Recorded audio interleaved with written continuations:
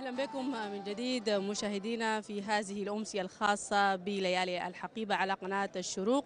وأغاني الحقيبة هي من الملامح التاريخية المهمة اللي دخلت في السودان منذ القرن التاسع عشر واتطورت وتحدثت الأغنية الحديثة وواكبت الأغنية الحديثة. أهلا ومرحبا بكم. وفي هذه اللحظة سعيدة جدا بانضمام العضو التنفيذي لنادي اتحاد فن الغناء الشعبي الأستاذ موسى أحمد عبد الله. أهلا ومرحبا بك وسعيدين بك وخلينا نتكلم في البداية يعني عن الاهتمام الاتحاد بتطوير أغنية الحقيبة وإعادة هذا المجد الكبير مجد الكبار بالتأكيد.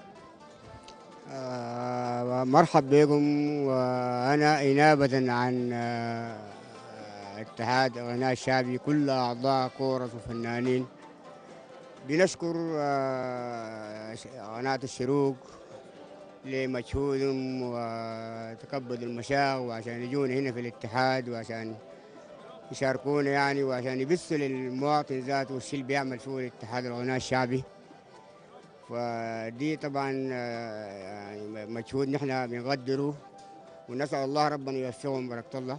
إحنا كمان بنقدر مجهودكم واهتمامكم بتطوير أغنية الحقيبة يعني وإلى أي مدى يعني هذا الاهتمام من خلال هذا النادي العريق المعروف باهتمامه بأغنية الحقيبة والترقية المستمرة لهذه الأغنية التي لا تمل ولا تكل. والله اتحاد الغناء الشعبي أصلا طبعا دي مهمته. دي مهمة اتحاد الغناء الشعبي إنه يطور الأغنية بتاعت الحقيبة ففي السلف الفات طبعا قبالنا.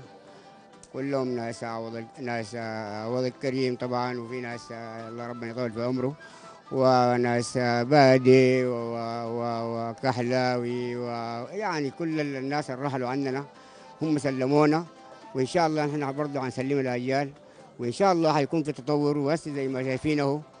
والشباب يعني هسه الأمانة الأغنية الحقيقة كنا الناس بيغنوها بطبلة وبنقص وثلاثة كورس.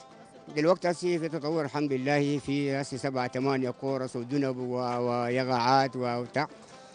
فاختلفت الشغلانية الحمد لله على حسب تطور تطور الأغنية وتطور النعم هاي. فالحمد لله الأمور ماشية وإن شاء الله نحن حنظل يعني في أغنية الحقيبة إلى أن ربنا لا يرث الحياة إن شاء الله. ربنا يمت في عمرك وكل المهتمين بأمر الغناء في السودان وتحديدا غناء الحقيبة. شكرا لوجودك معنا.